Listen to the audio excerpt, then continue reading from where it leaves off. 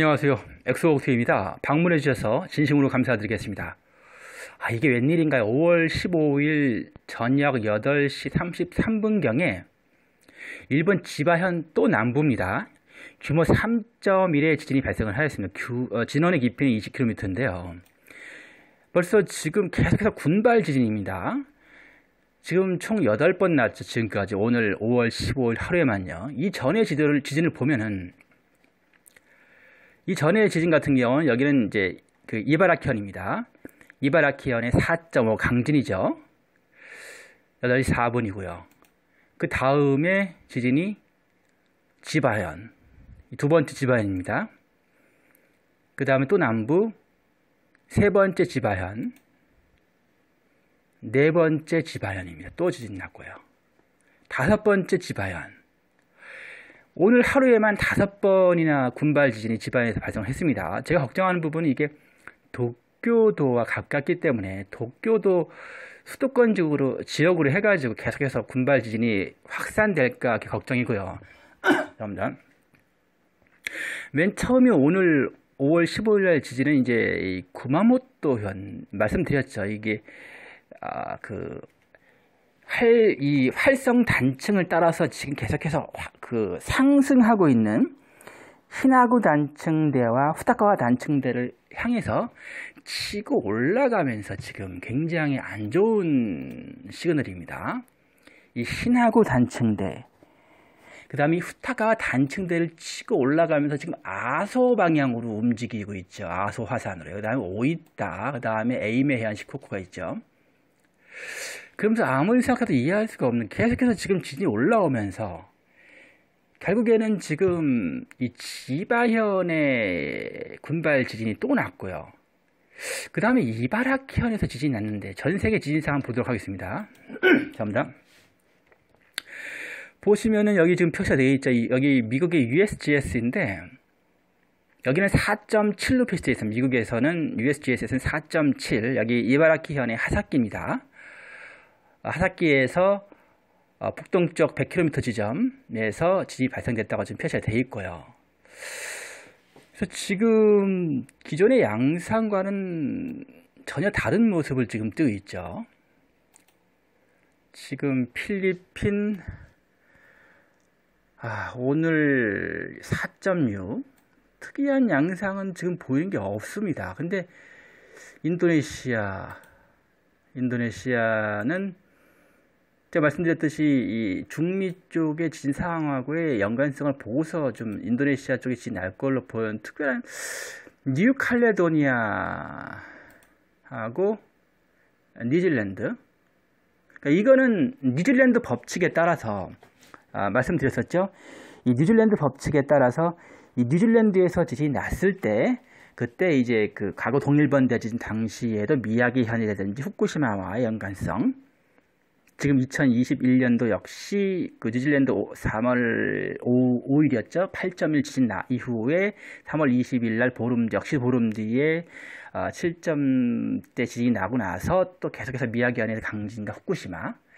그렇게 봤을 때는 이바라키현을 그나마 조금은 뭐 뉴질랜드와 연관성을 조금 볼, 본다 뭐 그 정도. 하지만 역시 우리가 기존에 알고 있던 그 후쿠시마라든지 그 미나미 도호쿠 쪽의 그 미야기현 아니면 후쿠시마가 아니란 거죠 지금. 이렇게 봤을 때는 또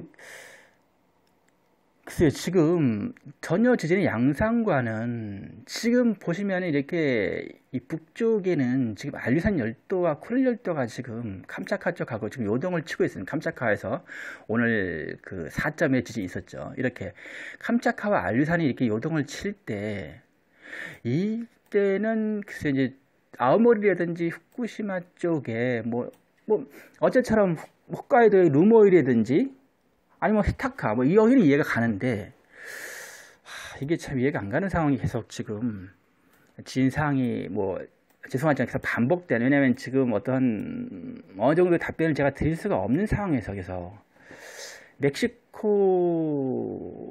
이게 좀 불안하네요. 과거의 데이터상 물론 이제 규모는 그렇게 크진 않습니다. 4.3인데 제가 그때 그 일본과의 삼각형 그때 말씀드렸죠. 삼각형 라인 기억하시는 분 아마 기억하실 겁니다. 이 멕시코와 아, 재팬과의 그 마누아투라든지 이쪽 남태평양에서의 그 삼각형 말씀드렸던 그 그게 지금 제가 기억이 납니다. 지금 이바라키 하사키 지금 멕시코죠.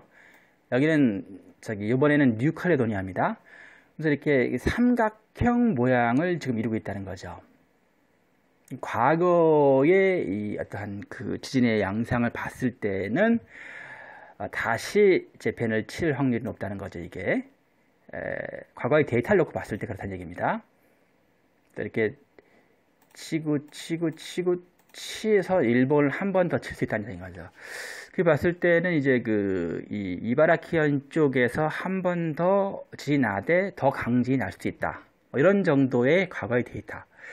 하여튼 지금 최근의 양상은 여기는 뭐 오클라호마 쪽 아닌가요? 텍사스 그래 여기 텍사스 오클라호마 그쪽입니다. 여기는 인위적인 지진, 그 셰일 가스라든지 아, 인위적인 지진 관련된 그 지역, 뉴멕시코.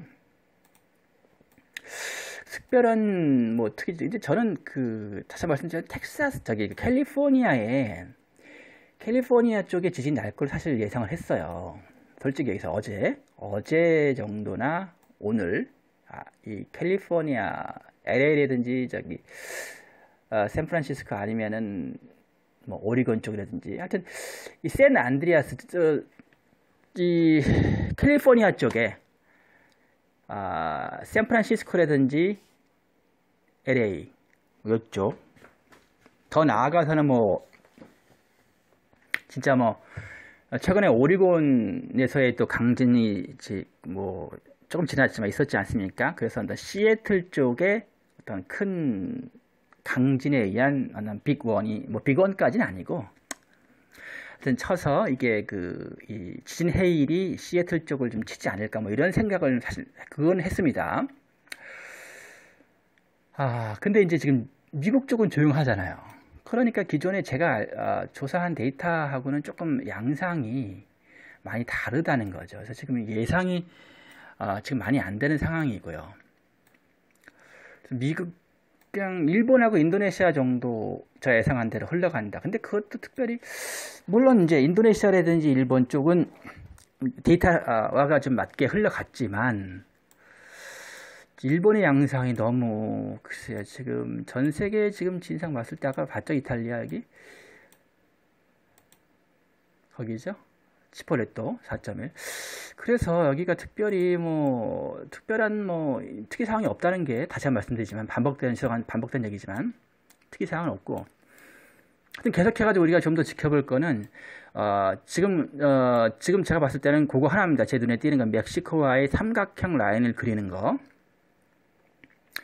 어, 이렇게 서로 간에 이 circulation 튀고 튀고 튀는 이런 삼각형 라인을 그립니다. 이렇게 그 과거의 데이터를 봤을 때 그렇다는 얘기입니다. 멕시코 이런 식으로 그래서 이제 그 이게 이 그 Japan을 다시 칠 수 있다는 겁니다. 멕시코에서 잠시만요. 지금 멕시코에 지진 난 거를 보면은 아 멕시코의 지진이 언제 났냐면은 지금. 저녁 8시 8분이죠. 8시 8분이고 일본에는 8시 3분 8시 3분에 나고서 멕시코에서 8시 8분 5분 뒤에 났네요 멕시코에 그래서 지금 기존의 데이터를 봤을 때는 한 번 더 멕시코에서 재팬으로 더 치고 들어가는 그러한 양상이 아, 있을 수가 있다. 그 정도로 이렇게 보여집니다.